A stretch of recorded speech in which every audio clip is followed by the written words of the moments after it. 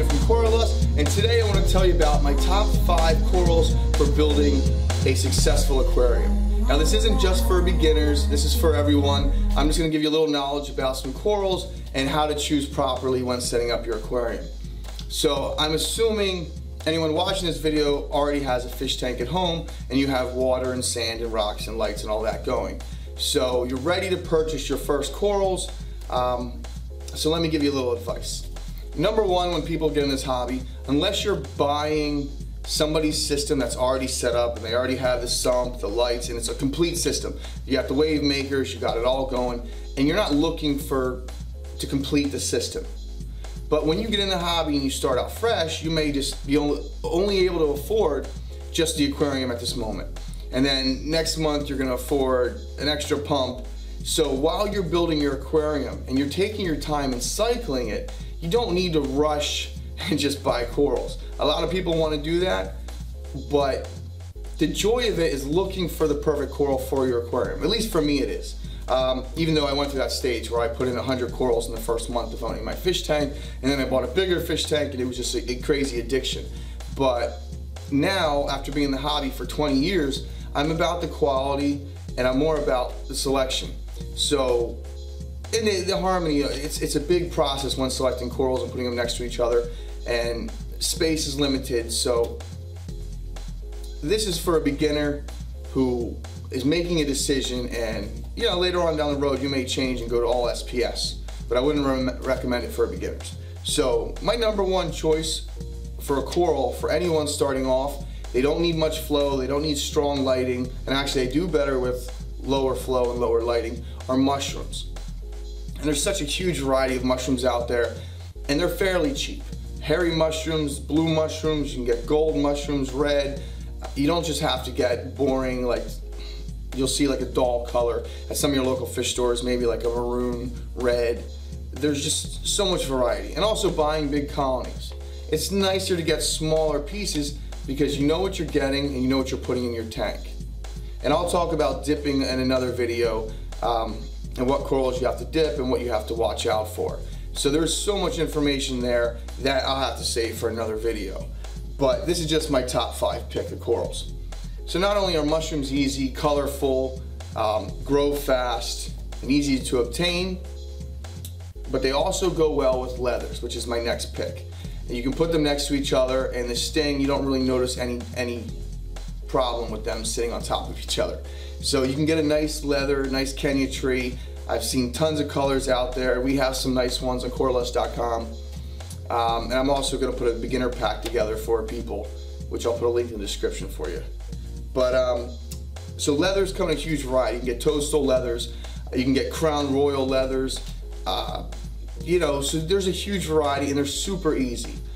And there's no places like with zoanthids for the detritus to fall into and kind of annoy some of the corals. Which I see people, they love getting zoanthids and get these cheap colonies for beginners.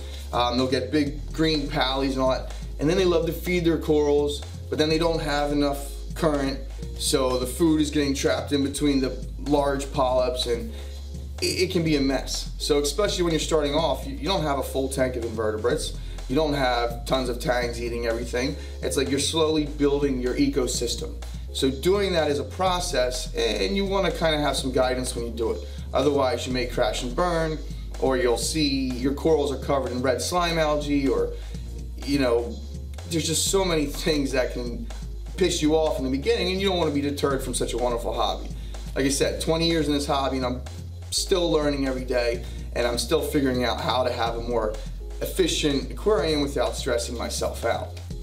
So number three, you know, I, I just said zoanthids get or can be a problem, but star polyps and sympodiums, they're small enough that they don't really trap in that detritus and they will cover pretty much any surface you put them on. You can put them high, low, on a rock, on your sand, on the overflow, glue them pretty much anywhere you want and they're just gonna cover that and grow nicely. So, and there is some ultra polyps out there. The sympodium, which do great with lower lighting, they're blue and green. I'll give you guys some examples um, of the different star polyps. So you're not just stuck with one thing. And you can, if you have Tonga rock or something really cool, they will grow around it looking amazing. My next pick on this list is Favias. Favias are pretty easy to keep. I mean, you can put them on anything and they pretty much will grow around it. The sand or a rock, depending on the size of the piece you get, you can just lay it there. They're photosynthetic, very hardy. As long as you're doing your water changes, you shouldn't need to dose calcium or mag or anything else. So especially when starting out in the beginning, you shouldn't have any coralline algae in your tank and you shouldn't really have any huge desire other than just doing your water changes. So Favias are great and also acans. They're an LPS, they have some tissue. Um, I wouldn't recommend people getting into like the torches right away, but an acan's a good start. And if your acans are doing well, then I would move into the LPS like a Euphyllia, frog spawn, torch, hammer, something else like that. But I tend to like to see how the acans do first and then move into them. So I have acans and Favias in the same category, but then my next one I have are Duncans. So Duncans are pretty cool. I love LPS stuff. I also like the hard skeletons, how they grow. They're branching with these huge fluffy polyps. So Duncans are great and they're an awesome way to judge your growth in your tank because anyone who started off with a Duncan, they may seem like very slow um, growers or whatever. And a lot of that I contribute to are people buying cheap salt, which I will talk about in another video. Always buy reef salt, unless you're just a fish person and you don't care. But in this hobby, the first thing you can do, the number one thing is your water. So that's another episode, but RODI, number one, then your water, salt you mix with that, you know, before your equipment, before your lighting, before your wave makers, you gotta have a good salt. Um, so these corals, like I said, in the beginning, people who are starting off, um, these are easy corals for beginners. They look great and they come in a wide variety of colors and they're not gonna stress your system. They don't need any special treatment or anything. Um, the polyps and the dipping, which I wanted to get into in another episode, I, I try to stay away from them because they bring a lot of dirt. Anyone who has came home from a local LFS and blown off their polyps, they tend to have just, just like I said, tons of detritus on them and different things. So watch when you're feeding your corals. It's a good thing to blow them off afterwards. Um, because like I said, people starting out with a new tank may not have the MP40s or enough current or whatever people are using nowadays for their, their waves, Tunzes or even the Jebaos. But I recommend good flow before you invest in some corals. So get your equipment lined up and then the corals are the last thing. So sorry if I uh, am blabbering a little bit and going off in different tangents, but there's just so much to learn, it's not just one thing. It's like people always ask me one simple question. I go, ah, there's not just one answer. There's years of experience behind that answer. I've had over 20 different tanks. And I will tell you this, that every single tank is a different experience. Even my display tank, the left side and the right side, corals, different colors, different polyp extension.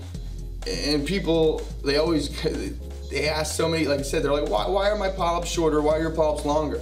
I go, well, if they're in longer flow for a longer period of time, they may find it more beneficial to grow longer lashes to pick up more food or to put up with the stronger abuse of the current to protect their mouth when feeding. I mean, there's a lot of different reasons why corals react the way they do. So I'm on my way to becoming the coral whisperer because I can tell you the health of a coral just by looking at the tissue. Um, Zooxanthellae is huge and that's why you can have the same coral as somebody else and it looks like crap in your tank and looks awesome in their tank.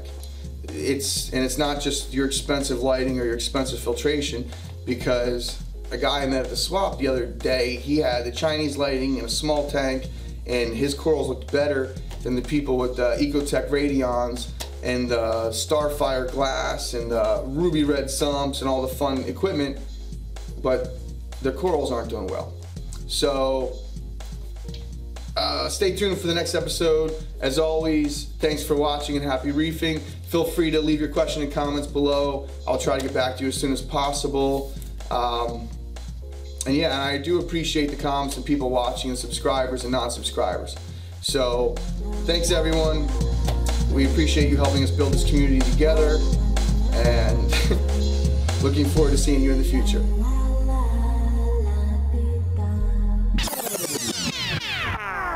One more thing, if you're looking at the sun coral or a non-photosynthetic filter feeder at your local fish store, do not get it. Um, they're almost impossible to keep for beginners. I only recommend them for people who have had their tanks established for like two years and up, just because the food isn't there yet. And if you try to supplement that food, you're just gonna dirty your tank and end up um, suffocating that coral. So the tissue and the cellular respiration is very important. And another thing I tell people, just because my corals may be healthy and beautiful and come from pristine, pristine water conditions, by the time they're shipped and they get delivered to you, that coral has expelled all kinds of waste.